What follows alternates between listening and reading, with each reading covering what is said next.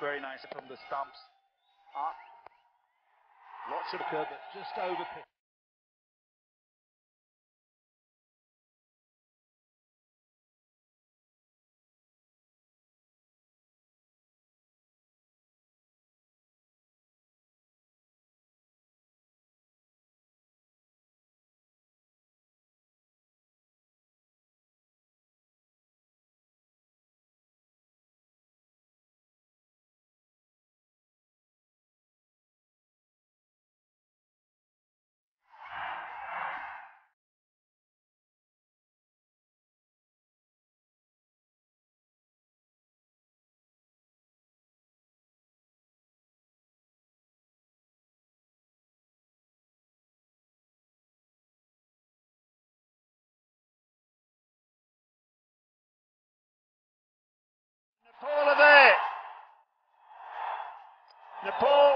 Heading to the ICC World 2020 2014 in Bangladesh.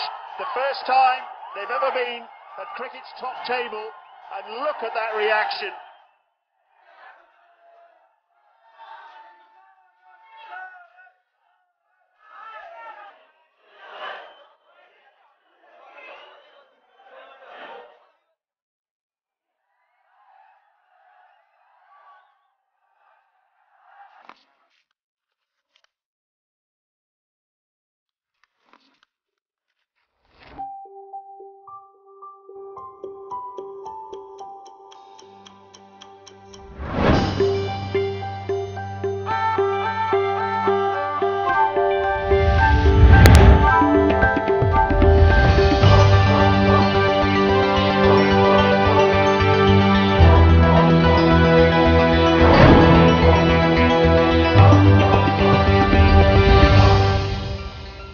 आदरणीय दर्शकवृन्द नमस्ते।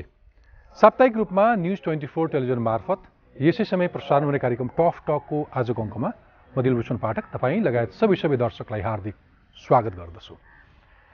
दर्शकबिन आजको टफ टकमा हामी क्रिकेटको कुरा गर्दैछौँ र त्यो पनि आगामी सोह्र मार्च अर्थात् चैत दुई गतेबाट बङ्गलादेशमा सुरु हुने ट्वेन्टी ट्वेन्टी विश्वकपका बारेमा। युएईमा गत मङ्सिर बाह्र गते हङकङ विरुद्धको खेलमा विजयी भएसँगै नेपालले पहिलो पटक यति ठुलो प्रतियोगिता वर्ल्ड कपमा सहभागिता जनाउने अवसर पाएको हो। वर्ल्ड कपको अन्तिम तयारीका लागि दुवै प्रस्थान गर्नुअघि बिहान सबेरैदेखि बेलुका अबेलासम्म नेपालको एक मात्र अन्तर्राष्ट्रिय क्रिकेट मैदान किर्तिपुरमा नेपाली टोली अनवरत अभ्यासमा जुटिरहेका बेला मैले नेपाली टोलीका क्याप्टेन पारस खड्कासँग एक घन्टाका लागि टफ टकका लागि समय मागेको थिएँ। सन् दुई हजार चारमा पहिलोपटक सिनियर टिममा परेका पारसले त्यसको पाँच वर्षपछि नेपाली क्रिकेटको कप्तान भएका हुन्। सन् दुई हजार नौमा विनोद दासले कप्तान छाडेपछि नेतृत्व गरेका पारस पारसकै पालामा नेपालले यति ठुलो फड्को मारेको छ र विश्वकप खेल्दैछ। आउनुहोस् स्वागत गरौँ मेरो आजका अतिथि नेपाली राष्ट्रिय क्रिकेट टोलीका कप्तान पारस खड्गालाई।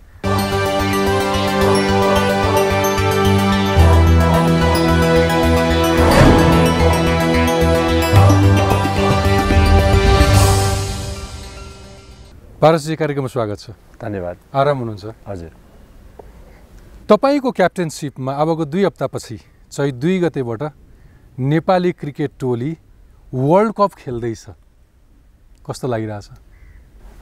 खुसी छौँ हामीहरू सबैजना। Not only as a captain but also as a player सानोदेखि बच्चादेखि एउटा सपना थियो वर्ल्ड कप खेल्ने भनेर क्रिकेट सुरु गरेदेखि नै भनौँ न। एकदम सानो उमेरदेखि नै क्रिकेट खेल्न सुरु गरेँ अब मैले लगभग छ सात वर्षको थियो होला। त्यो सानो सानो काठको ब्याटहरू बनाएर क्रिकेट खेल्न सुरु गरियो। र खेल्दै खेल्दै जाँदा पछि स्कुलमा पनि एउटा क्रिकेट खेल्ने र स्पोर्ट्स खेल्ने एउटा इन्भाइरोमेन्ट थियो। त्यसले गर्दा पनि एकदमै हेल्प भयो मलाई।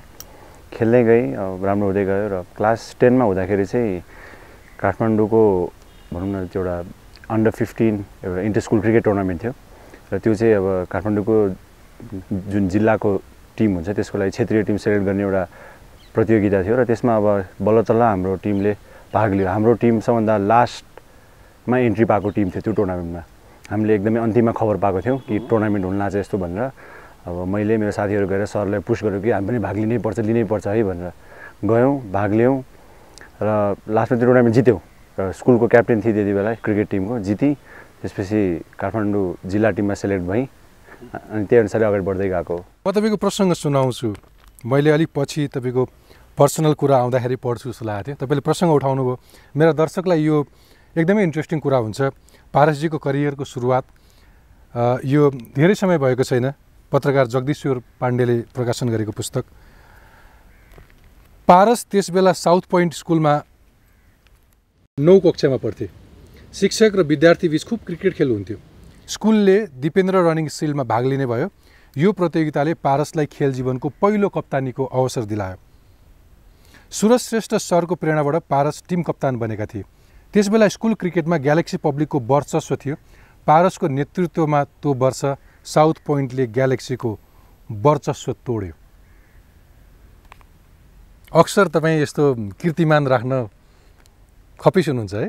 हजुर खप्पिस भन्दा नि अब त्यो खेल्दै गएँ होइन राम्रो हुँदै गएको। अब त्यति बेला त क्रिकेट खेल्नै मन पर्थ्यो। यो थाहा थिएन कि कुन स्कुलको के रेकर्ड छ या कसको के थियो भनेर। हामी त सबै साथीहरू क्रिकेट खेल्न मन पराउँथ्यो क्रिकेट खेल्थ्यौँ र अब जसरी होस् आफ्नो टिमबाट चाहे त्यो इन्टर हाउस टिम किन नहोस् इन्टर स्कुल होस् इन्टर क्लब किन नहोस् जुन टिमबाट खेले पनि जित्नको लागि कोसिस गर्थ्यौँ र जित्दै जित्न सफल भयौँ त्यति बेला। म मैले यो यो इमोसन्स कन्ट्रोल गर्न सकिनँ मसँग। अर्को पनि दुईवटा प्याराग्राफ छ।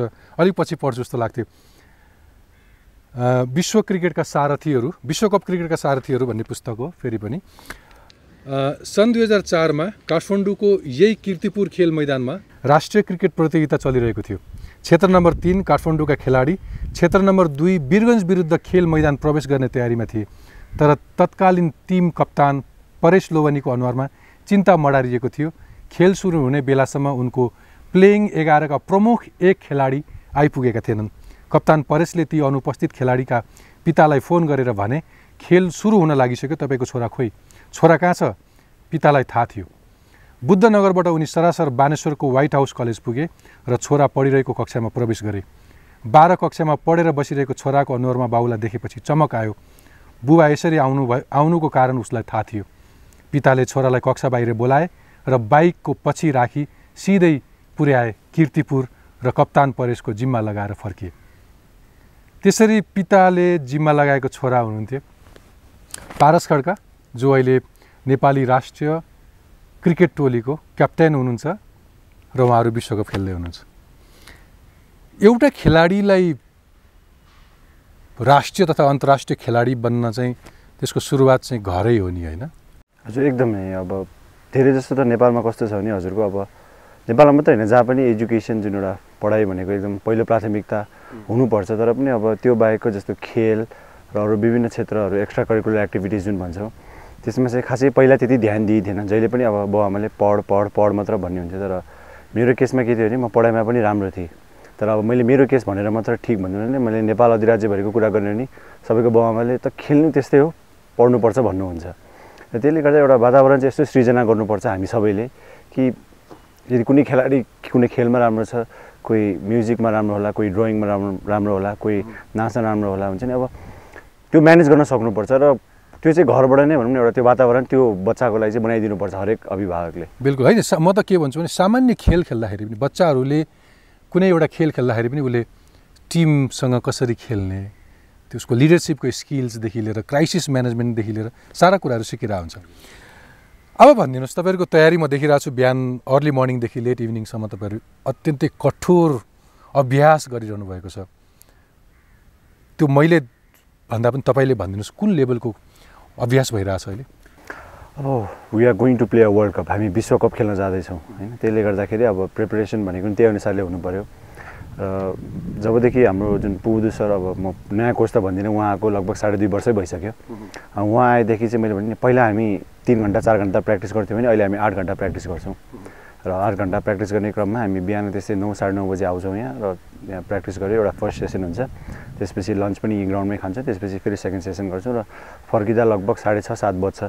अब वर्ल्ड कप जस्तो लेभलमा खेल्न जानको लागि आफूले आफूले एकदमै you have to prepare yourself very well तिखार्नुपर्छ।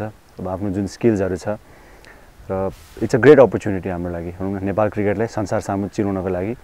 र हामीले यो जिम्मेवारी छ हामी सबैमा कि नेपाललाई चिनाउनको लागि संसारको अगाडि? संसारका एक सय एक टिमहरू हुन्छन्। पर्टिकुलरली नेपालको पर्फर्मेन्स कस्तो अपेक्षा गर्नुभएको छ? हामी रियलिस्टिक हुनुपर्छ। अब हामी बिस्तारै बिस्तारै अगाडि बढ्दैछौँ इन्टरनेसनल क्रिकेटमा। अब एकैचोटि गएर वर्ल्ड कपै जित्ने भन्ने भनौँ न त्यो सबैको आशा त त्यही छ कि अब प्रतियोगितामा भाग लिएपछि जित्नै पर्छ भन्ने। तर हामीमा कन्फिडेन्स छ कि हामी राम्रो गर्न सक्छौँ भनेर। र हामी step by step match by match हेर्नेछौँ। फर्स्ट म्याच हामी हङकङसँग खेल्दैछौँ। हामीले उनीहरूसँग राम्रै खेलिरहेको छौँ र अर्को टोटल दुईवटा टिम भनेको एउटा बङ्गलादेश छ र अर्को अफगानिस्तान छ। र स्पेसली ट्वेन्टी ट्वेन्टी फर्मेट हो। त्यो ट्वेन्टी ट्वेन्टी फर्मेटमा कस्तो हुन्छ? जुन टिमले राम्रो खेल्छ अन द्याट पर्टिकुलर डे त्यो टिमले नै जित्ने गर्छ। त्यसले गर्दाखेरि हामी बङ्गलादेशमा गएर सक्दो प्रयास गर्छौँ कि नेपाललाई जिताएर दोस्रो चरणमा पुर्याउनको लागि। तपाईँहरूको टिममा तपाईँहरूको जुझारु महत्त्वकाङ्क्षी मेहनती खेलाडीहरूले नथिङ इज इम्पोसिबल भनेको सुनेको छु मैले।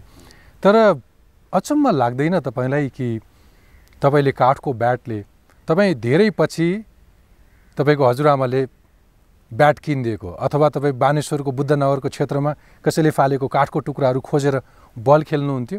आजको दिनमा पनि नेपालमा एउटा गतिलो खेल मैदान छैन। अहिले यो भएको यही खेल मैदानलाई हामीले अन्तर्राष्ट्रिय खेल मैदान भनिरहेछौँ। पृष्ठभूमि त्यो तर तपाईँहरू खेल्दै हुनुहुन्छ क्रिकेटको वर्ल्ड कप। अचम्म लाग्दैन? अचम्म लाग्छ पनि लाग्दैन पनि। अचम्म किन लाग्दैन भन्दाखेरि हामी चाहिँ जहिले पनि क्रिकेट मन पर्थ्यो र क्रिकेट खेलिराख्यौँ। होइन अब क्रिकेट मनपर्ने हुने कारणले गर्दा भनौँ न लगभग दुई हजारदेखि दुई हजार दससम्मको यो समयमा नेपालको भनौँ न अन्डर सेभेन्टिन अन्डर नाइन्टिन लेभलको धेरै खेलाडीहरू भनौँ न अब देश विदेश जाने एउटा बाहिरतिर पढ्न जाने आफ्नो पर्सनल कारणहरूले गर्दा जाने एउटा कार्यक्रम र बिचमा हाम्रो राम्रो खेलाडीहरू पनि तिन चारजना जानुभयो। म आफूले पनि एउटा समयमा सोच बनाएको थिएँ। म क्याप्टेन बन्नुभन्दा अगाडि कि म अब धेरै क्रिकेट खेलिसके जस्तो लाग्थ्यो आफूले आफूलाई। भनौँ न दुई हजार आठ दुई हजार नौतिर अब दुई तिन वर्ष चार वर्ष भइसकेको थियो खेलेको इन्टरनेसनल क्रिकेट। अनि त्यसपछि ए अब त धेरै गरियो जस्तो। इच्छा त थियो विश्वकपसम्म खेल्ने तर कसरी खेल्ने? अब त्यहाँसम्म कसरी पुग्ने भनेर त्यो बाटो नै थाहा थिएन हामीलाई। अब इच्छा मात्र भएर चाहिँ नहुने रहेछ। त्यो बाटो चाहिँ थाहा हुनुपर्ने रहेछ। त्यो बाटो चाहिँ मैले भने नि जुन हाम्रो प्रशिक्षक हुनुहुन्छ पुबुदु दर्शन आएकी उहाँले नै देखाइदिनु भएको बाटोमा हामी भनौँ न उहाँ आउनसाथ उहाँले उहाँले दिनुभएको पहिलो अन्तर्वार्ता नै यही थियो कि म नेपाललाई विश्वकपसम्म पुर्याउन चाहन्छु। होइन उहाँको इच्छा इच्छा भनेको उहाँको एउटा कन्फिडेन्स भन्ने कि उहाँको त्यति बेलाको एउटा सेल्फ बिलिभ थियो त्यो विश्वास त्यो सेल्फ त्यो सेल्फ बिलिभ मलाई लाग्छ उहाँहरूले खेलाडीहरूमा ल्याइदिनु भयो। र खेलाडीहरूले आफ्नो भनौँ मैले भने नि चार घन्टाको सट्टा आठ घन्टा प्र्याक्टिस गर्न थालेँ र जस्तो भनिन्छ नि जति मिहिनेत गऱ्यो त्यही अनुसारको नतिजा आउँछ भनेर चाहिँ हामी मिहिनेत गर्दै गयौँ नतिजाहरू आउँदै गए। र अब विश्वकपसम्म पुग्दाखेरि त खुसी लागेको थियो स्पेसली अब जुन हङकङसँगको म्याच थियो। अब त्यो म्याचसम्म आउँदा चाहिँ एउटा म्याच जितेमा हामी वर्ल्ड कपसम्म पुग्ने एउटा स्टेजमा थियौँ। त्यसले गर्दाखेरि अब त्यति बेला अब हामी दुबईमा थियौँ। दुबईमा धेरै नेपालीहरू हुनुहुन्छ जस्तो होटेल्सदेखि लिएर ग्राउन्ड्सदेखि लिएर अनि अब ठ्याक्क त्यही म्याचभन्दा तिन चार दिन अगाडि चाहिँ हाम्रो ग्याप जस्तो पनि थियो। र अब आफूले आफूलाई इमोसन्सहरू कन्ट्रोल गर्न सके पनि त्यो मनमा खेलिरहेको थियो एउटा म्याच जित्न साथ वर्ल्ड कप पुगिन्छ वर्ल्ड कप पुगिन्छ भन्ने थियो। आफूले आफूलाई अलिकति फोकस अलिकति गेमभन्दा बाहिर लान खोजे पनि खोजी खोजी आएर हुन्छ नि वर्ल्ड कप पुग्नुपर्छ है भाइ वर्ल्ड कप पुग्नुपर्छ है भाइ भन्ने थियो। जस्तो फेसबुक खोल्यो भने त्यत्तिकै थियो इमेल्सदेखि मेसेजेसदेखि लिएर। त्यसले गर्दा यिनीहरू सबै खेलाडीहरूमा एउटा प्रेसर त अब देशबाट खेलेपछि त्यो प्रेसर त सधैँ हुन्छ हुन्छ। तर अब हुन्छ नि त्यो एउटा आफ्नो सपना एउटा गन्तव्यको यति नजिक पुग्दाखेरिको अगाडिको क्षण चाहिँ मलाई लाग्छ खेल्न सजिलो थियो त्योभन्दा अगाडिको क्षण चाहिँ झन् गाह्रो थियो कि? त्यो एन्टिसिपेसन हुन्छ बिल्कुल। म म दिपक विष्टसँग कुरा गरिरहेको थिएँ। उहाँले मलाई भन्दै हुनुहुन्थ्यो कि उहाँ साफ खेल्न जाने बेलामा चाहिँ यति धेरै प्रेसर हुन्थ्यो अरे कि कसैले त्यो भन्दाखेरि यति धेरै तनाव। सामान्य हामीलाई पनि भोलि कुनै एउटा डेडलाइन हुँदाखेरि एउटा प्रेसर हुन्छ। सिङ्गो राष्ट्रले तपाईँहरूसँग जुन अपेक्षा गर्छ अनि सबको ध्यान तपाईँहरूतिर हुन्छ नि त्यो प्रेसर त खपि नसक्नु नै हुन्छ होला होइन? अब खपि नसक्नु भन्नाले अब हाम्रो काम क्रिकेट खेल्ने हो होइन? अब क्रिकेट खेल्न सिकेका छौँ अब क्रिकेट खेल्न राम्रो हुँदैछौँ अहिले बिस्तारै बिस्तारै। त्यसले गर्दाखेरि अब हामी गएर चाहिँ ग्राउन्डमा यो सोच्दैनौँ कि हामीलाई भनौँ न नेपालको सम्पूर्ण जनताले हेरिराख्नु भएको छ। या उहाँहरूले के सोचिराख्नु? हामी यो सोच्छौँ कि उहाँहरूको माया छ उहाँहरूको आशीर्वाद छ।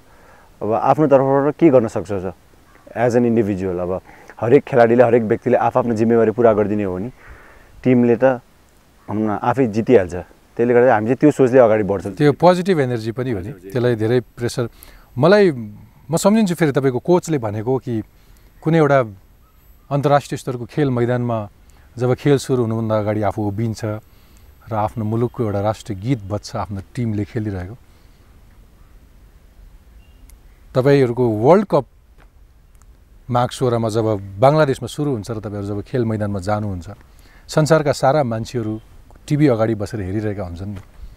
त्यो बेला जब राष्ट्रिय गीत घन्किन्छ नि त्यस्तो अनुभव छ नि तपाईँहरूसँग होइन? कस्तो फिल हुन्छ रङ्गशालामा मेरो मुलुकको राष्ट्रिय गीत बज्दाखेरि त्यो फिलिङ त अब शब्दमा त बयान गर्न सक्दिनँ। मलाई अहिले पनि याद छ जब हामीहरू वर्ल्ड कप क्वालिफाई भइसकेपछि हामी जहिले पनि हरेक म्याचमा जब हामी कुनै जित भनौँ हामी जित्छौँ हाम्रो एउटा भिक्ट्री सङ एउटा भनौँ न हामी सेलिब्रेट लागि रातो र चन्द्र सूर्य जङ्गी निशाना हो भने हाम्रो गाउँछौँ र हङकङसँगको म्याचपछि ठ्याक्क त्यो म्याचको प्रेजेन्टेसन हुन लागेको बेला म बसिरहेको थिएँ र ठ्याक्क हामी बसेको पभिलियन पछाडि नेपाली क्राउडहरू हुनुहुन्थ्यो र उहाँहरूको सबैजनाले हुन्छ नि त्यो एउटै गीत गाइराख्नु भएको थियो कि सबैजनाले एउटै लहमा जस्तो हामी इङ्ग्लिस प्रिमियर लिग भन्छौँ इन्डियामा भन्छौँ क्रिकेट हेर्दाखेरि भनौँ न आफ्नो देशलाई समर्थकहरूले जसरी सपोर्ट गर्नुहुन्छ त्यो खालको जसरी उहाँले एउटा गीत गाइदिनु भयो होइन त्यो सम्झिँदा र जब पनि हामी जब किर्तिपुर मैदानमै जब खेल्छौँ जब राष्ट्रिय गान बज्छ पन्ध्र बिस हजार मान्छेको अगाडि बाङ्लादेशमा मलाई लाग्छ तिस पैँतिस हजार मान्छेको अगाडि। सो त्यो फिलिङ भने नि अब त्यो ढक्क छाती फुल्छ होइन? जिउ सिरिङ्ग हुन्छ। मलाई अहिले पनि त्यो कुरा सम्झ्यो भने मलाई अहिले पनि जिउ सिरिङ्ग हुन्छ मेरो। र मलाई लाग्छ that's why we play sports अब एउटा कारण यो पनि हो आफ्नो देशलाई रिप्रेजेन्ट गर्न पाउनु आफ्नो आफूले मन मन आफूले मनले चाहेको कुरा गर्न पाउनु र खेल्न पाउनु र सबैजनाले यति खुसी दिन पाएकोमा चाहिँ हामी चाहिँ एकदमै आफूले आफूले भनौँ न के भन्ने अब त्यो शब्द नै छैन मसँग। गौरव महसुस। गौरव गौरव महसुस हुन्छ एकदमै। पारसजी मलाई एउटा कुरा भनिदिनुहोस् तपाईँहरूले जब युएईमा ट्वेन्टी ट्वेन्टी खेल्दै हुनुहुन्थ्यो त्यो बेलामा तपाईँहरूसँग त्यस्तो जादु के थियो जुन न्युजिल्यान्डमा एक दिवसीय म्याचमा थिएन? मिहिनेत त गरे एकदमै गरेका थियौँ हामीले जस्तो दुबईको टुर्नामेन्ट अगाडि चाहिँ भनौँ न हामी लगभग साढे दुई तिन महिना जस्तो थियो। अब दसैँ तिहार पनि परेको थियो बिचमा। र दसैँ तिहार पनि हाम्रो लगभग दुई दिन कि तिन दिन मात्रै छुट्टी थियो। र त्यति बेला पनि सबैले सोध्नुहुन्थ्यो पत्रकारदेखि लिएर दसैँ तिहार मनाउनु पर्दैन? र म सबैलाई यही जवाब दिन्थेँ कि हामी वर्ल्ड कप पुग्छौँ अनि मनाउँछौँ दसैँ तिहार भनेर भन्थेँ।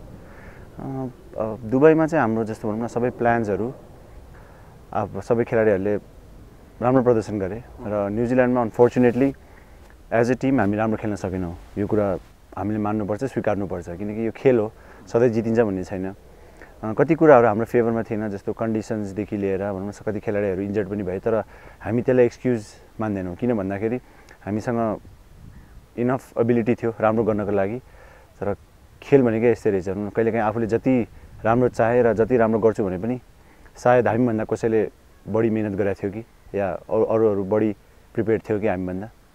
मेरो प्रश्न के हो भने हामी चाहिँ ट्वेन्टी ट्वेन्टीसम्मको लागि हामी ठिकै तर एक दिवसीयको लागि हामी सक्षम छैनौँ कि त्यतिखेरको प्रदर्शन मात्रै हामीले गर्न नसकेको हो। ट्वेन्टी ट्वेन्टी क्वालिफायर जानुभन्दा अगाडि हामीलाई फिफ्टी ओभरमा हामी राम्रो टिम भनौँ नेपाल चाहिँ फिफ्टी ओभर राम्रो खेल्छ भन्ने एउटा धारणा थियो सबैको। नेपाल क्रिकेट बुझ्ने फलो गर्नेलाई चाहिँ के लाग्छ नेपाल ट्वेन्टी ट्वेन्टी चाहिँ खासै खेल्न सक्दैन फिफ्टी ओभरको चाहिँ एकदमै राम्रो टिम हो है भनेर। र हामीले भनौँ दुई वर्षको पिरियडमा मिहिनेत गर्दै आफ्नो जुन क्षमता स्किल लेभल्सहरू इम्प्रुभ गर्दै अगाडि बढ्दै गयौँ। र ट्वेन्टी ट्वेन्टीमा मलाई लाग्छ अहिले हामी फिफ्टी ओभरभन्दा झन् राम्रो भयौँ कि। र फिफ्टी ओभरमा पनि नराम्रो त छैनौँ हामी नराम्रो थिएनौँ तर हाम्रो प्रदर्शन राम्रो भएन। टिम त त्यही नै हो खेलाडीहरू पनि त्यही नै हो। खालि प्रदर्शनको कुरा थियो चाहेको बेला प्रदर्शन गर्न सकेनौँ। क्षमता थियो। मैले धेरै यो क्रिकेटका पण्डितहरूले कुरा गरेर सुनेको छु कि युएईको पिच चाहिँ नेपालको जस्तो थियो अनि न्युजिल्यान्डको चाहिँ मोर लाइक युरोपियन स्ट्यान्डर्डको थियो त्यसकारण हामीले पर्फर्म गरेनौँ भनेर टिप्पणी गरेर सुनेको छु होइन त्यो त अब कस्तो थियो भने हामी न्युजिल्यान्ड लगभग पन्ध्र दिन अगाडि गएको थियौँ। यही जस्तो यही कन्डिसन्सहरूको भनौँ न एडप्टेसनको लागि भनेर। तर पनि अब भनौँ हामी हेर्न सक्छौँ इन्टरनेसनल क्रिकेटमा पनि विभिन्न टिम जस्तो इन्डियादेखि लिएर कति देशहरू भनौँ न जस्तो अस्ट्रेलिया इन्डिया हुँदा इन्डिया अस्ट्रेलिया न्युजिल्यान्ड जाँदाखेरि त्यो कन्डिसन्समा अलिकति भनौँ न उनीहरूलाई च्यालेन्जिङ हुन्छ। र हाम्रो लागि चाहिँ कन्डिसन्सले भन्दा पनि हामी हाम्रो क्षमताअनुसार खेल्न सकेनौँ।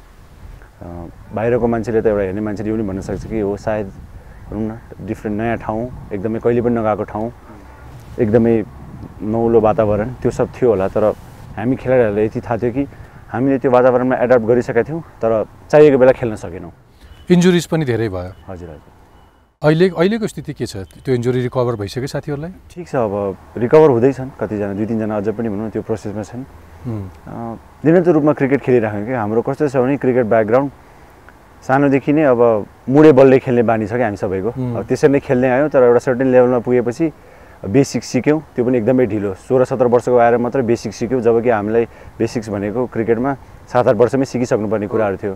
अब त्यो वातावरण नहुँदा पनि अब खेल्दै खेल्दै आएपछि कस्तो भने एउटा जिउले पनि कन्टिन्युस लेभलमा क्रिकेट खेलिरहेपछि धान्न नसक्ने रहेछ। यो चाहिँ हामी सबै खेलाडीहरूले बुझ्यौँ कि। किनकि. अब लास्ट दुई वर्षमा मलाई लाग्छ नेपालले लगभग हरेक प्रतियोगिता जित्दै जित्दै अगाडि बढ्यो। र जित्दै जित्दै अगाडि बढ्दा बढ्दा कति क्रममा त्यही खेलाडीहरू नै थिए र हामीसँग एकदम लिमिटेड रिसोर्सेसहरू छ खेलाडीहरूको कुरा गर्ने हो भने। त्यही पन्ध्र बिस पच्चिसजनाको भरमा हामीले भनौँ न नेपालको राष्ट्रिय टिमलाई छान्नुपर्ने बिल्कुल बिल्कुल बिल्कुल। त्यसले गर्दा पनि अब हो सायद धेरै क्रिकेट भएर नै होला खेलाडीहरूमा एउटा इन्जरिजहरू आएको। फेरि तपाईँको यो एउटा उखान छ नि फुत्किएको माछाको अलिक बढी चर्चा हुन्छ होइन? भलै महत्त्वका हिसाबले चाहिँ ट्वेन्टी ट्वेन्टीमा वर्ल्ड कपसम्म पुग्नुभन्दा पनि त्यो वान डे म्याच जित्नु चाहिँ अरू धेरै इम्पोर्टेन्ट थियो होला। तर तपाईँले भनिसक्नुभयो कि तपाईँ निरन्तर दुबईमा खेलिरहनु भएको थियो qualifying round qualifying round round अनि मान्छे थाकेको अवस्थामा त्यस पछाडि तपाईँको चाहिँ इन्जर्ड भएको स्थितिमा स्वाभाविक रूपमा हामी सबैले बुझ्नुपर्छ। तर मलाई अर्को नमिठो लागेको चाहिँ तपाईँहरू दुबईबाट विजयी भएर फर्किँदाखेरि जुन उत्साहका साथ एयरपोर्टमा तमाम नेपाली प्रशंसकहरू राष्ट्रिय गीत गाउँदै झन्डा बोकेर गए र न्युजिल्यान्डबाट तपाईँहरू पराजित भएर फर्किँदाखेरि कोही पनि नजाँदाखेरि चाहिँ अलिक नमिठो लाग्छ होला होइन खेलाडीहरूलाई? पाँचजना हुनुहुन्थ्यो।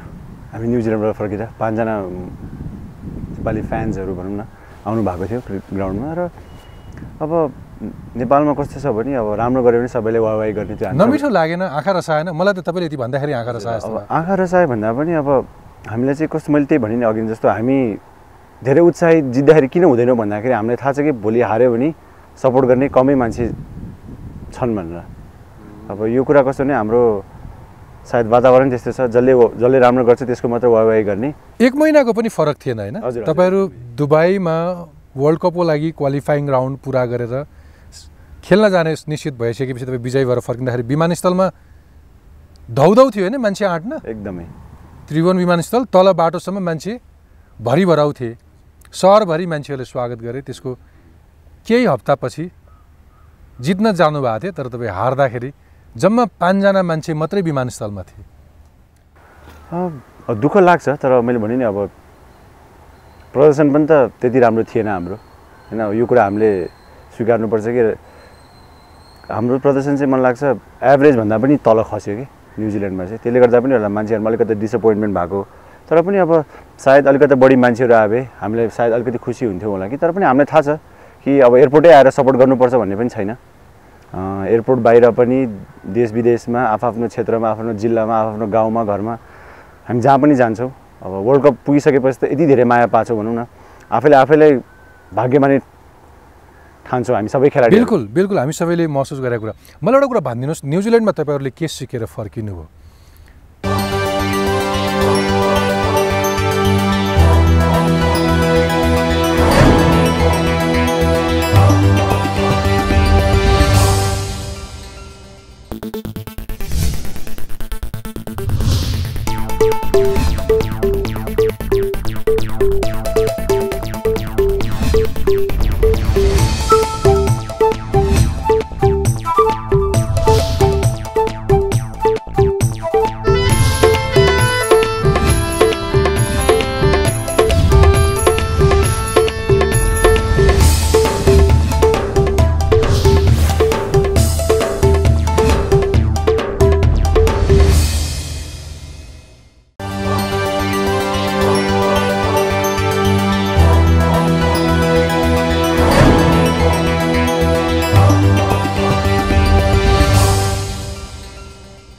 कुरा भनिदिनुहोस् न्युजिल्यान्डमा तपाईँहरूले के सिकेर फर्किनु भयो एउटा ठुलो लेसन त भयो नि। हजुर हजुर एकदम। वर्ल्ड कपको लागि क्वालिफाइङ सायद है अब यो भन्दाखेरि ठिक होला या बेठी होला तर सायद हामी तयार थिएनौँ कि त्यो इन्टरनेसनल क्रिकेटमा सब खेल्नको लागि। कन्फिडेन्स थियो हामीमा क्षमता थियो तर भनौँ नि अब कहिलेकाहीँ अब जस्तो मलाई ल मलाई सगरमाथा चढ्न मन लाग्यो भनेर म चढ्छु भनेर त चढ्न सक्दिनँ। तयारी भनेको त्यो त्यस बेलाको सामान्य केही तयारीहरू नपुगेको कि ओभरअल तपाईँको स्ट्यान्डर्डमा तयारी पुगेको थियो? ओभरअल स्ट्यान्डर्डमा मैले भने किनकि अब त्यही मैले भने बिस पच्चिसजना खेलाडीको भरमा अब हामी ओडिआई स्टेटस पाएर अब फिफ्टी ओभर वर्ल्ड कप खेलेर कि अब हामी हो विश्वलाई ढाल्न सक्ने स्थितिसम्म पुग्यौँ भन्ने चाहिँ मैले भने नि नेपाल क्रिकेटको सबैभन्दा एउटा अचम्मको कुरा के हो भने जुन वातावरण जुन इन्भाइरोमेन्ट क्रिकेट खेलाडीहरूको भित्र कोच कोचिङ स्टाफहरूमा भित्र छ र जुन कुरा हामी बिचमा छ। बाहिरको मान्छेले हेर्ने चाहिँ त्यो कम्प्लिटली डिफ्रेन्ट छ क्या किनकि भित्रको आउटलुक ए हो भने बाहिरको मान्छेले अर्कै बुझ्छ क्या त्यो कुराहरू।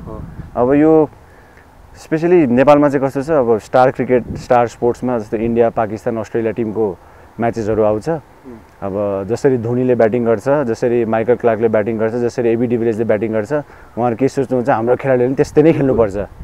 हजुर त्यसले गर्दाखेरि अब एक्सपेक्टेसन्स हाई एकदमै हाई छ सबैको। किनकि टिभीमा जस्तो थियो त्यस्तै सोच्नु। ग्राउन्ड रियालिटी कस्तो छ? तपाईँहरूले न्युजिल्यान्डमा प्र्याक्टिस गर्न जानुभन्दा अगाडि कुनै एउटा खेल मैदान पाउनु भएको थियो अभ्यास गर्नलाई?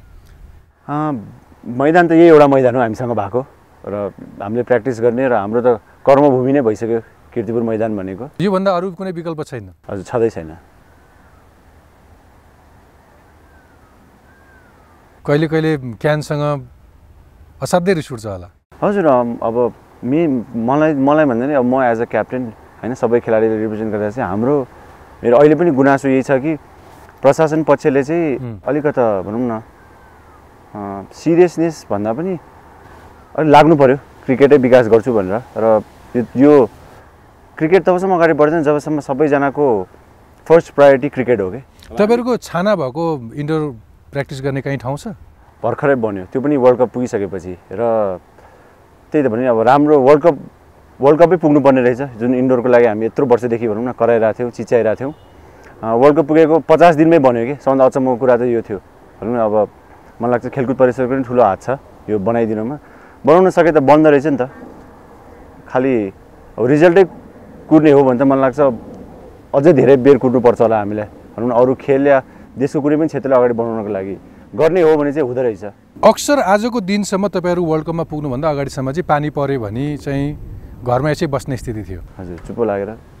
अब पानी पऱ्यो भने तपाईँले अभ्यास गर्न पाउनुहुन्छ। हजुर एकदमै। तपाईँले अलिकति आफ्नो टिमको एनालाइज गर्नुभयो भने चाहिँ अहिले पनि तपाईँको कमजोरी चाहिँ के छ नेपाली क्रिकेट टिमको? पर्टिकुलरली उसको कुनै ब्याटिङमा बलिङमा अथवा यो दुवैमा अथवा अरू शारीरिक क्षमतामा त्यस्तो कुनै कमजोरीहरू छ? कमजोरी भन्नाले अब हाम्रो अब ब्याटिङ मैले भने नि अब ब्याटिङ बलिङ फिल्डिङ तिनटै पक्ष सुधार्नु पर्ने छ किन भन्दाखेरि अब इन्टरनेसनल लेभल वर्ल्ड लेभलको जस्तो खालको छ। जसरी ट्रेनिङ हुन्छ होइन हामीसँग त्यो फेसिलिटिजहरू नै छैन त्यो खालको ट्रेनिङको लागि। तर पनि जे जति लिमिटेड रिसोर्सेस छ त्यसको हामी बेस्ट युटिलाइज गर्छौँ। र तिनटै क्षेत्र सुधार्नुपर्छ हामीले। यो भन्दिनँ कि म ब्याटिङ कमजोर छ या बलिङ बलियो या ब्याटिङ कमजोर या फिल्डिङ बलियो कमजोर भनेर। सबै तिनटै क्षेत्रलाई चाहिँ हामीले सुधार्नै पर्छ र भने नि एउटा सबैको इच्छा छ कि अब नेपालले अब इन्टरनेसनल क्रिकेटमा कहिले अब नेपाल भर्सेस इन्डिया लाइभ होइन? नेपाल भर्सेस पाकिस्तान लाइभ अब यो पोसिबिलिटी छ। म देख्छु यो पोसिबिलिटी छ। किन भन्दाखेरि त्यो त्यो क्रेज छ क्या हाम्रो देशमा जुन एउटा क्रिकेट खेलमा जुन फ्यान्सहरूले जुन खालको जस्तो खालको माया देखाउनुहुन्छ। यही खालको क्रेज बङ्गलादेशमा पनि थियो दुई हजारमा जब बङ्गलादेशले टेस्ट स्टेटस पाए मलाई लाग्छ त्यही पिरियडमा र त्यो कसरी पायो भन्दाखेरि उनीहरूको ग्राउन्डहरू बन्दै गयो। लोकल क्राउडले एकदम सपोर्ट गर्न थाल्यो। अब हामीसँग अहिले ग्राउन्डहरू बिस्तारै बिस्तारै बन्दैछ बन्ने योजनामा छ। मान्छेहरूको सपोर्ट त छँदैछ। अब प्रशासन पछिको भूमिका यति हो कि कसरी यसलाई अब एउटा राम्रो बाटोमा लिएर जाने? जस्तो under fifteen under seventeen under nineteen league फर्मेटहरू गराएर वर्षैभरि खेलाडीहरूलाई खेलाउनु पऱ्यो हजुर। बिस पच्चिसजनाले मात्रै क्रिकेट खेलेर नेपाल क्रिकेट अगाडि बढ्नु चाहिँ ठिक मान्दिनँ म। मलाई एउटा कुरा भनिदिनुहोस् कि पर्टिकुलरली बङ्गलादेशको वर्ल्ड कपमा न्युजिल्यान्डमा सिकेको पाठ अथवा न्युजिल्यान्डमा गर्न नसकेको पर्फर्मेन्स भन्दा राम्रो गर्न सक्ने आधारहरू के के छन्? धेरै छन्। मलाई लाग्छ हारेर नै धेरै कुरा सिकिन्छ जहिले पनि। अब आफ्नो आफ्नो गेमको बारेमा हामीले धेरै बुझ्यौँ। सबै खेलाडीहरूले भनौँ न के कसो आफ्नो कमजोरीहरूको बारे सिके कि के कुरामा ध्यान दिनुपर्ने रहेछ। र त्यसले गर्दा फर्केर आएपछि हामी त्यही कुराहरूमा भनौँ न बढी फोकस छौँ अहिले ट्रेनिङमा स्पेसली र बङ्गलादेशमा गएर मैले भने नि राम्रो प्रदर्शन गर्ने हो। र जहिले पनि जब पनि नेपालको लागि खेल्छौँ खेलाडीहरूले आफ्नो जिउ ज्यान लगाएर खेल्छन्। हार्नको लागि कसैले पनि खेल्दैन। सर जित्नको लागि नै खेल्छन् तर खेल हो कहिले जित हुन्छ कहिले हार हुन्छ। तर हामी एज प्लेयर्स कमिटमेन्टमा चाहिँ हाम्रो कहिले पनि कमी थिएन र हुँदा पनि हुँदैन जबसम्म खेल्छौँ। पर्टिकुलरली बङ्गलादेशमा तपाईँहरू खेलिरहँदाखेरि हामी नेपालमा बस्ने अथवा केही मान्छेहरू त प्रशस्त तपाईँको समर्थनमा बङ्गलादेशसम्म पुग्ने कुरा पनि छ। नेपालमा बसिरहेका दर्शकहरूले नेपालीहरूले के गर्दै हुन्थ्यो जस्तो लाग्छ तपाईँहरू खेलिरहेको बेलामा? सपोर्ट त अब मैले जब त्यो दुबईबाट फर्केर आएँ मलाई लाग्छ नेपालको धेरै मान्छेले नेपाल भर्सेस हङकङको म्याच हेर्नुभयो भन्ने कुरा सुने मैले। र युट्युबदेखि लिएर इन्टरनेटमा पनि धेरै भिडियोजहरू हेरेँ। संसारभरि नै भनौँ न चाहे त्यो अस्ट्रेलिया होस् होइन अमेरिका होस् होइन युके होस् नेपालमै किन नहोस् सबै ठाउँमा मान्छेहरू बसेर म्याचहरू हेरिदिनु भएको थियो सपोर्ट गर्नुभएको थियो। र हामीलाई त्यही हो यहाँहरूको माया यहाँहरूको सपोर्ट चाहिन्छ। मैले भने नि हाम्रो लागि त सबभन्दा एकदम the best feeling in the world is हामी जब यहाँ किर्तिपुर मैदानमा किर्तिपुरको एक्जाम्पल किन दिँदा यो हाम्रो होम ग्राउन्ड भएको भएर जब पन्ध्र बिस हजार मान्छे यहाँ सपोर्ट गर्नुहुन्छ जब हामी ग्राउन्डमा छिर्छौँ हामीलाई लाग्छ हामी जसलाई पनि हराउन सक्छौँ जे पनि गर्न सक्छौँ। त्यस्तै खालको सपोर्ट यदि आफआफ्नो घरबाट यदि प्रार्थना गरेर हुन्छ सपोर्ट गरेर सपोर्ट जसरी गरिराख्नु भएको छ यसरी नै गरिदिनु भयो भने हामीलाई ढाकामा हुँदा पनि चिटोगङमा हुँदा पनि हामीलाई लाग्छ कि हाम्रो पछाडि पुरा देश छ र हामी हाम्रो जिम्मेवारी छ कि हाम्रो देशको सम्पूर्ण जनतालाई क्रिकेट खेलेर जितेर देशलाई चिनाउने। बिल्कुल। मलाई अलिकति तपाईँको व्यक्तिगत जीवनमा जान मन लाग्यो। तपाईँ त फुटबलको पनि राम्रो खेलाडी स्कुलमा आउँदाखेरि बास्केटबल पनि असाध्यै राम्रो खेल्नुहुन्थ्यो अरे। पर्टिकुलरली क्रिकेटतिर कसरी आकर्षित हुनुभयो? केले लो ब्यायो तपाईँलाई? लेख्याएर चाहिँ क्या हो कुनै बेला तपाईँलाई केही सङ्केत थियो कि क्या हो? म राष्ट्रिय टोलीको क्याप्टेन हुन्छु र वर्ल्ड कपमा मेरै क्याप्टेनसिपमा खेल खेल्न पाइन्छ भनेर। मैले कहिले पनि आफ्नो लाइफ चाहिँ यसरी प्लान चाहिँ गरिनँ। जस्तो स्कुलमा पनि म पढाइमा राम्रो थिएँ मेरो सोचिएको थियो कि म पढाइमा राम्रो गर्छु भनेर। खेल्दै गएँ। अब सबै खेल खेल्थेँ चाहे त्यो football basketball table tennis athletics स्कुलको सबै टिममा थिएँ म। र खेल्दै गएँ र मैले भने जुन इन्टर स्कुल क्रिकेट टुर्नामेन्ट भयो। त्यो टुर्नामेन्टै एउटा टर्निङ पोइन्ट भयो मेरो आफ्नो क्रिकेटिङ करियर। किन भन्दा त्यो टुर्नामेन्टबाट चाहिँ म काठमाडौँको क्षेत्रीय टिमको लागि सेलेक्ट भएँ र क्षेत्रीय प्रतियोगितामा सेलेक्ट भएपछि हामीहरू वीरगन्ज गयौँ। पहिलोपल्ट म काठमाडौँ पाइल काठमाडौँभन्दा बाहिर गएकै थिइनँ त्योभन्दा अगाडि। मेरो फर्स्ट टुरै क्रिकेट टुरै थियो। वीरगन्जमा गएँ वीरगन्जमा गएको थिएँ गर्मी महिना थियो म्याटमा खेलाइएको थियो। ब्याटिङ गर्न गएको थिएँ। ब्याटिङ गर्दा गर्दै म्याटबाट बाफ उडेको देखेँ कि मैले गर्मीले। यस्तो पनि हुँदो रहेछ है भन्ने एउटा फिल भयो आफूलाई होइन? र खेल्दै गएँ अब राम्रो हुँदै गयो। यो पनि सोचेको थिइनँ कि जब पन्ध्र वर्ष पन्ध्र वर्ष अन्डर सेभेन्टिन अन्डर नाइन्टिन खेल्दाखेरि आफ्नो ठाउँ नै देख्थिनँ कि सिनियर टिममा जहिले पनि हेऱ्यो यसो हेऱ्यो। अब विनोद दास मेहबुब आलम शक्ति गौचन हुन्छ नि राजु खड्का परेश लोहनी हुन्छ नि दिपेन्द्र चौधरी सबै अब एक सय एक सय एक थिएन। अब आफ्नो म त सक्दिनँ होला जस्तो लाग्छ। कुनै बेला तपाईँले त्यो मन अब म पढाइमै फर्किन्छु भन्ने पनि सोच्नु भएको छ। थियो त्यही जब म जस्तो अघि नै हजुरले भन्नुभएको जस्तै जस्तो त्यो स्टोरी थियो म मेरो नाम क्षेत्रीय टिममा थियो टिम यहाँ खेलिरहेको थियो तर म कलेजमा थिएँ। दुई हजार चारको Bangladesh under nineteen world cup खेलेर आइसकेपछि मलाई के लागेको थियो धेरै क्रिकेट खेलेँ। वर्ल्ड कप पनि खेलिहालेँ अब अन्डर फिफ्टिन सेभेन्टिन लेभल खेलिसकेँ नाइन्टिन वर्ल्ड कप खेलिसकेँ अब नाइन्टिनभन्दा माथि त आफ्नो स्थानै देख्दिनँ म सिनियर टिममा त्यही भएर अब खेल्नु खेलिसक्यो अब पढाइतिर लाग्ने जस्तो थियो। तर मेरो भाग्यमा चाहिँ सायद क्रिकेटै लेखा रहेछ। क्रिकेट खेल्नेको लागि जन्मेर रहेछु भने चाहिँ त्यो चाहिँ मलाई थाहा भइसक्यो। वा नेपाली टिमको क्याप्टेन कसरी हुनुभयो? अब म फर्स्ट टाइम टु थाउजन्ड फोरमा अन्डर सेभेन्टिनको क्याप्टेन भएको थिएँ। र टु थाउजन्ड फोरमै मैले सिनियर टिमको लागि डेब्यु गरेको थिएँ होइन।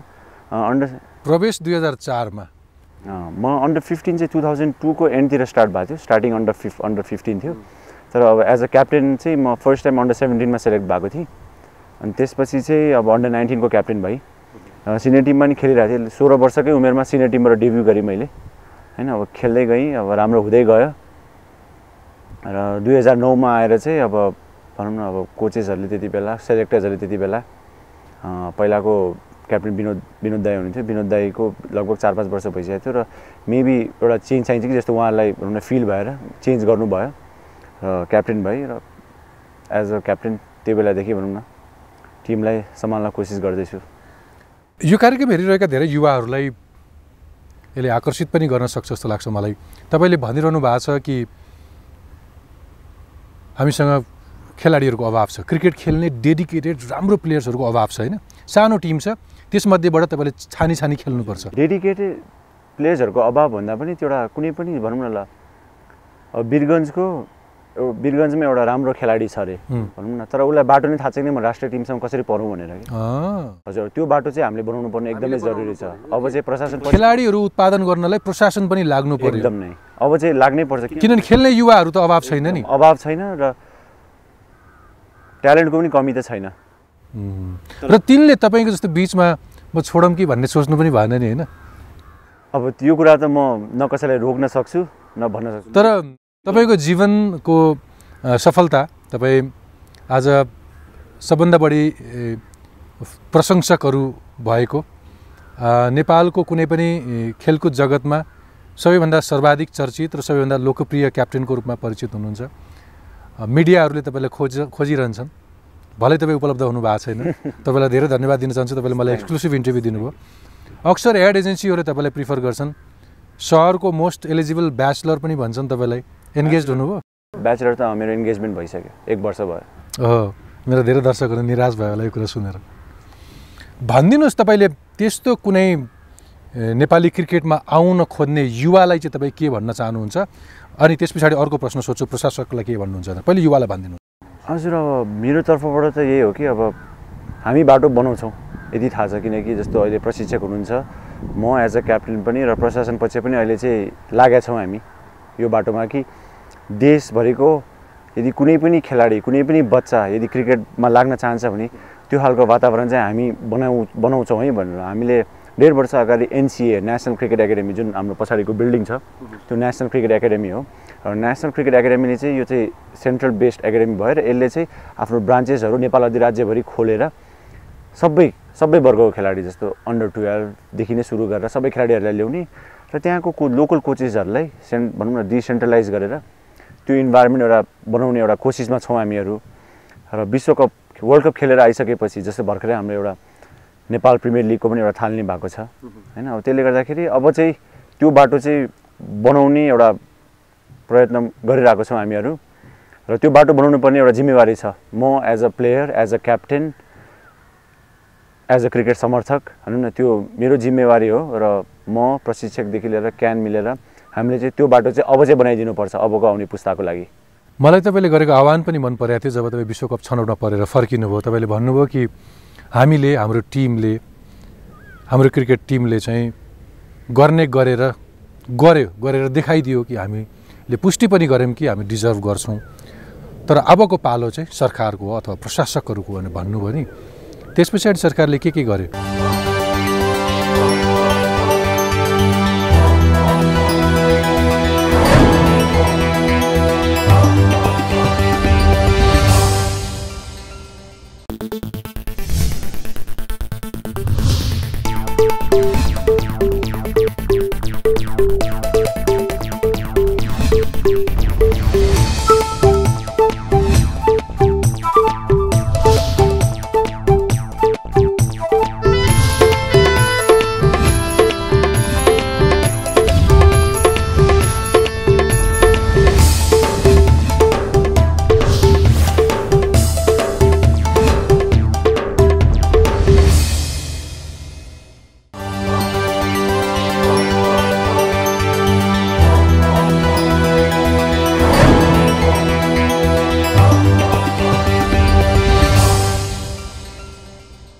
मलाई तपाईँले गरेको आह्वान पनि मन परेको थियो जब तपाईँ विश्वकप छनौटमा परेर फर्किनुभयो। तपाईँले भन्नुभयो कि हामीले हाम्रो टिमले हाम्रो क्रिकेट टिमले चाहिँ गर्ने गरेर गर्यो गरेर देखाइदियो कि हामीले पुष्टि पनि गऱ्यौँ कि हामी डिजर्भ गर्छौँ। तर अबको पालो चाहिँ सरकारको अथवा प्रशासकहरूको भनेर भन्नुभयो नि। त्यस पछाडि सरकारले के के गर्यो? तपाईँलाई यहाँ छाना हालिदियो एउटा। हजुर हजुर। अरू? अरू भन्नाले जस्तो मैले सुन्नमा आएको म अब काठमाडौँ बाहिर त गएकै छैन अहिले अब यो ट्रेनिङ पिरियड बाहेकको अ, विभिन्न ठाउँमा जस्तो ग्राउन्डहरू पनि बन्दैछ विराटनगर मैले सुनेको उता कोलपुर नेपालगञ्जतिर धनगढीतिर पनि दुई तिनवटा ग्राउन्डहरू बनिसकेको छ। र बिस्तारै बिस्तारै हो। भएको ग्राउन्डहरू जस्तो हाम्रो वीरगञ्ज कलयामानी ग्राउन्डहरू छ। र अस्ति भर्खर पनि एउटा लोकल टुर्नामेन्ट भएको थियो जनकपुरमा। लगभग हाम्रो एक दुईजना खेलाडीहरू पनि गएको थियो खेल्न। त्यहाँ लगभग दस हजार जति मान्छे हुनुहुन्थ्यो अरे कि? एकदम सिम्पल ग्राउन्डमा भुइँमै बसेर हुन्छ नि हेर्ने दर्शकहरू हुनुहुन्छ नि। र क्रेज छ। खेल्नको लागि कतिसम्म भने म एक हप्ता अगाडि मात्रै महाकाली म कहिले कहिले यात्रा गर्छु। सुदूरपश्चिमको महाकाली नदीको किनारमा शारदा ब्यारेजको छेउछाउतिर पनि नेपाली युवाहरू त्यो मरुभूमिमा पनि अथवा खोलाको बगरमा बालुवामाथि पनि क्रिकेट खेलिरहेको थियो। तपाईँ जहाँ पनि जानुभयो भने अलिक क्रिकेट देखिन्छ। मलाई भनिदिनुहोस् त्यसो भए सरकारलाई तपाईँले त्यसो भन्नुभयो। क्यानले के गरिरहेछ? मेरो त जहिले पनि प्रश्न प्रशासन भन्छ नि सुरु त क्यानलाई नै क्यानलाई नै हुन्छ कि यहाँहरू अब अलिकता सिरियस र टाइम दिनु पऱ्यो म जहिले पनि यही भन्छु किनकि अब अहिले पनि क्यानको सबै पदाधिकारीहरूको फर्स्ट प्राथमिकता क्रिकेट छैन। यो त मैले एकदम ओपनली भनेको कुरा हो।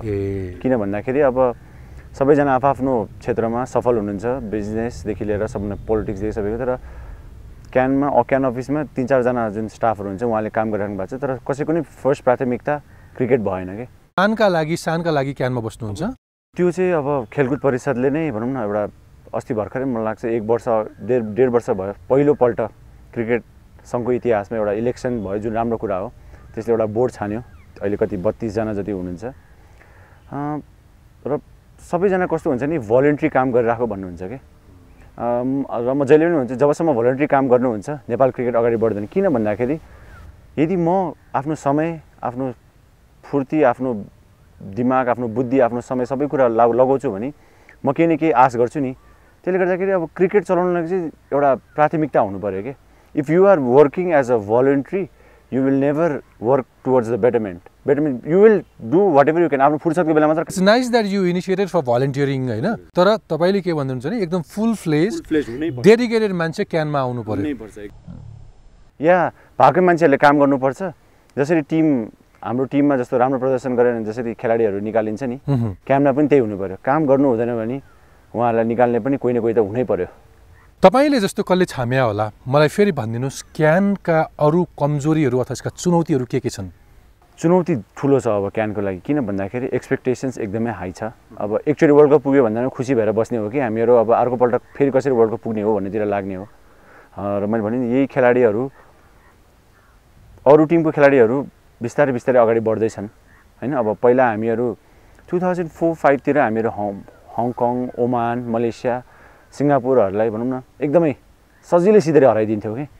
तर दुई हजार सात दुई हजार आठ दुई हजार नौ दस आएर अहिले त्यो टिम्सहरू हामीसँग कम्पिट गर्न थालिसक्यो।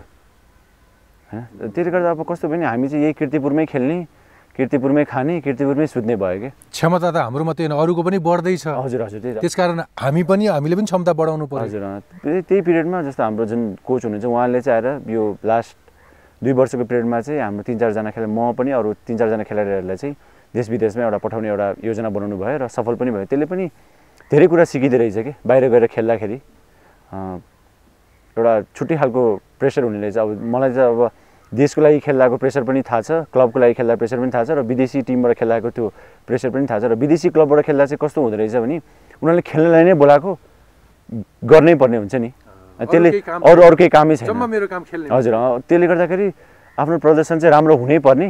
र त्यसरी आफूले आफूले भनौँ न त्यो वातावरणमा मोल्ड गर्दाखेरि तिखार्दाखेरि आफ्नो गेम चाहिँ इम्प्रुभ हुने रहेछ एकदमै र त्यो लेभलमा इम्प्रुभ भयो भने त पछि आफ्नो देशको लागि खेल्न आउँदा चाहिँ एकदमै सजिलो हुने रहेछ मेरो आफ्नो पर्सनल एक्सपिरियन्स चाहिँ। क्यानले बिल्कुल केही पनि नगरेको हो कि केही चाहिँ गरेको छ? जस्तो रिसेन्टली उसले सिङ्गापुरको एउटा यो के बिएस स्पोर्ट्ससँग चाहिँ नेपाली राष्ट्रिय टिमको लागि भनेर केही सम्झौता गरेको छ दुई चार करोड बराबरको होइन? नगरेको होइन तर प्यासिभ भयो। गर्न सक्ने स्कोप ठुलो छ कि? नेपाल मलाई लाग्छ अर्को इन्डिया श्रीलङ्का बङ्गलादेश हुनसक्छ। एकदम सजिलो किनकि यहाँ मान्छेहरू दर्शकहरू हुनुहुन्छ माया गर्ने। क्रिकेट खेल्ने लोकल मान्छेहरू तर अब ठाउँ कसरी खेल्ने कहाँ खेल्ने नै थाहा छैन कि यहाँको मान्छेहरूलाई। र प्रशासन पक्षले चाहिँ आफ्नो तर्फबाट सक्दो प्रयास गर्नुपर्छ कि त्यो वातावरण बनाइदिनको लागि। हरेक खेलाडी हरेक एउटा बच्चाको लागि कि ऊ राम्रो छ भने म नेपालको लागि खेल्न सक्छु भनेर। यो वर्षौँदेखि सुनिँदै आएको एउटा कुरा चाहिँ काठमाडौँको मूल पानीमा हाँस्नुभयो तपाईँ। मैले यति भन्ने बित्तिकै भन्नुभयो। त्यो मूलपानीको कुरा भनिदिनुहोस् न त्यहाँ चाहिँ क्रिकेट स्टेडियम बन्ने भनेर वर्षौँ वर्ष भयो नि त। त्यसको चक्कर के हो? मूलपानी ग्राउन्ड त मैले क्रिकेट खेल्न सुरु गरेदेखिकै प्रोजेक्ट थियो होइन। अहिलेसम्म पनि कम्प्लिट भइसकेको छैन। मलाई लाग्छ मुलपानी ग्राउन्डले नै हाम्रो देश कसरी अगाडि बढिरहेछ भन्ने देखाउँछ कि? क्रिकेट बाहेक पनि। तर त्योभन्दा फरक तरिकाले हामी चल्न सक्छौँ भनेर त तपाईँलाई देखाइदिनु भयो नि। त्यो पनि हो। मैले भने नि जस्तो गर्न सकिँदो रहेछ नि। एउटा सानो इक्जाम्पल मैले इन्डोरको किन दिन्छु भने हामी न्युजिल्यान्ड जानु अगाडि एउटा इँटा पनि राखिएको थिएन। तर हामी पचास दिनबाट फर्केर आउँदा इन्डोर लगभग रेडी थियो कि। पचास दिनमा नि काम त हुँदै रहेछ नि। लागेर गराउने हो भने। मूलपानीमा पनि सायद राइट मान्छे राइट ठाउँमा भइदिए भए बनिसक्थ्यो कि अहिलेसम्म। अहिलेसम्म त बनिसक्नु त्यो कुनै क्वेसनै छैन। क्रिकेट एकाडेमीको कुरा गर्नुहुन्छ नि तपाईँले बेला बेलामा त्यो भनेको चाहिँ के हो? NCA national cricket academy. हामीले चाहिँ यो यो पनि फेरि हाम्रो कोचकै इनिसिएसनमा हामीले एउटा स्टार्ट गरेको प्रोजेक्ट हो। नेसनल क्रिकेट एकाडेमीले चाहिँ देशको सम्पूर्ण भनौँ न क्रिकेट एकाडेमिजहरूभन्दा पनि सम्पूर्ण देशको खेलाडीहरूलाई एउटा ठाउँमा ल्याएर ट्रेनिङ गराउने एउटा इन्भाइरोमेन्ट प्रदान गर्ने हो भन्ने एउटा योजना थियो हामीसँग। तर पनि ल्याक अफ बजेट स्पोन्सरसिप एउटा विभिन्न कुराहरूले गर्दा हामीले त्यो अझ पनि गर्न सकिरहेको छैनौँ।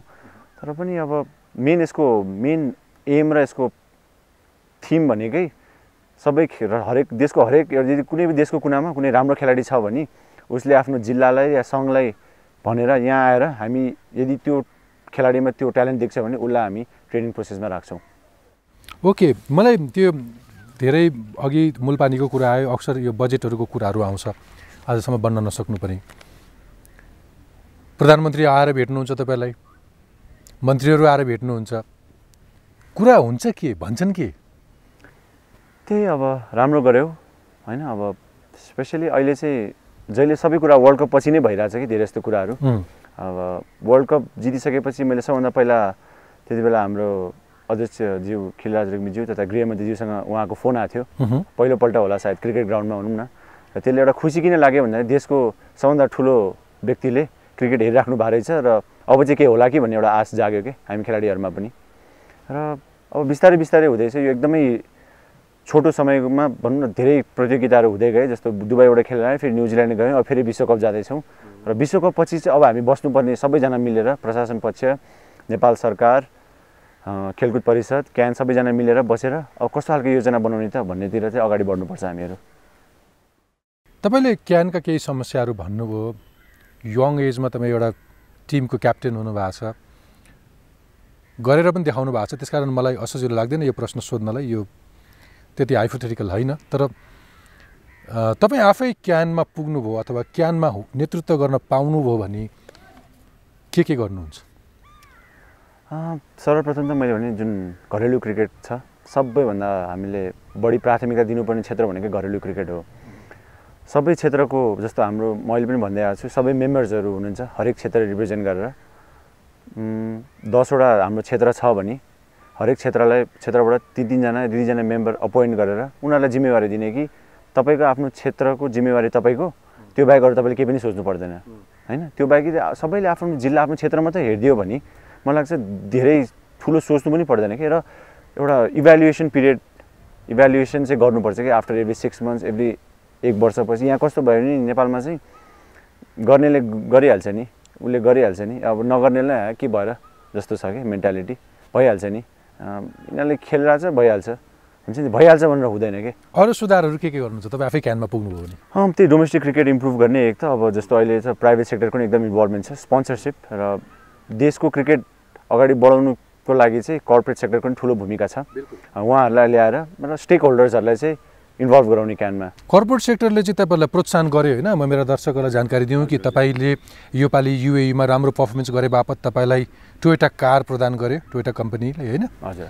नेपालको डिलरको तर्फबाट। त्यस कारण त्यसपछि तपाईँहरूका सबै क्रिकेट खेलाडीहरूलाई हरेक एक एक कर्पोरेट हाउसहरूले दुई दुईजनालाई दुई वर्षका लागि रोजगारी दिने घोषणा गरेका छन्। भनेपछि अब अब क्रिकेट खेल्ने कुनै पनि खेलाडीहरू बेरोजगार छैनन्।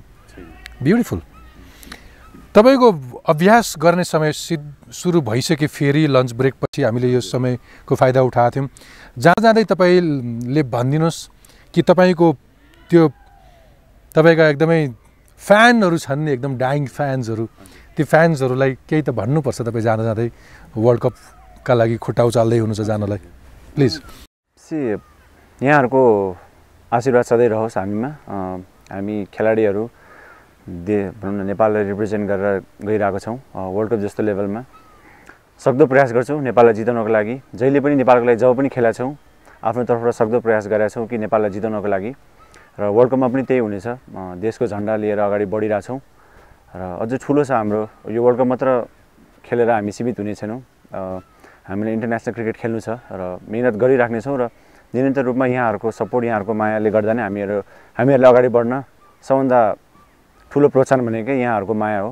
हामीलाई माया गरिराख्नुहोस् हामी आफ्नो काम गर्दै जान्छौँ। पारसजी तपाईँ तपाईँको टिमलाई धेरै धेरै शुभकामना। मेरा दर्शकका तर्फबाट तपाईँका प्रशंसकहरूलाई पनि समेट्न चाहन्छु उहाँहरूको आफ्नो तर्फबाट। विश्वकपको यात्रा सफल रहोस् सफलताले चुमोस् र तपाईँहरूलाई प्रशस्त उत्साहका साथ त्रिभुवन विमानस्थलमा स्वागत गर्न पाऊँ। धेरै धेरै शुभकामना। थ्याङ्क यू हवस् त आजका मेरा अतिथि नेपाली राष्ट्रिय क्रिकेट टोलीका कप्तान पारस खड्कासहित तपाईँहरू सबैलाई धेरै धेरै धन्यवाद। टफ टकका विषयमा तपाईँको कुनै सल्लाह सुझाव वा टिप्पणी भए हाम्रो इमेल ठेगाना हो tough talk at news twenty four Nepal dot TV तपाईँ यो कार्यक्रम युट्युबमा पनि हेर्न सक्नुहुन्छ र Facebook page tough talk with Dilbhushan Pathak र ट्विटरमा पनि आफ्नो प्रतिक्रिया पोस्ट गर्न सक्नुहुन्छ। अर्को हप्ता अर्को नयाँ विषय लिएर आउनेछु। आजको अङ्कबाट बिदा दिनुहोस्। नमस्ते।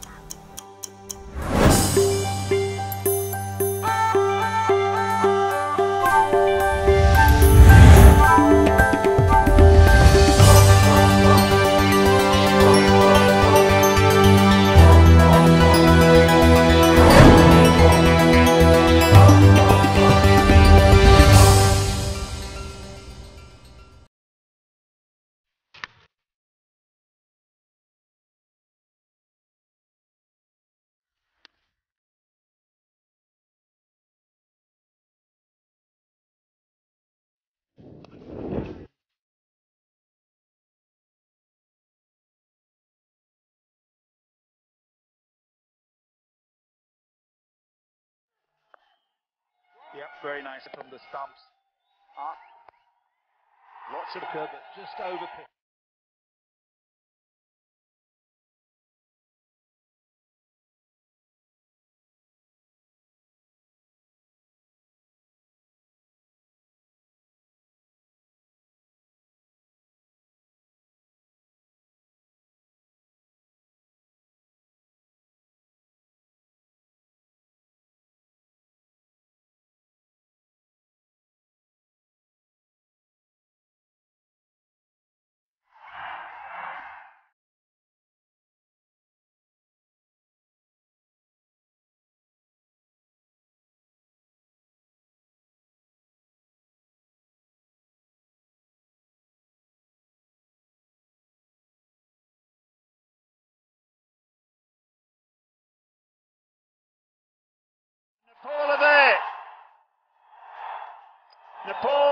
Heading to the ICC World 2020 2014 in Bangladesh.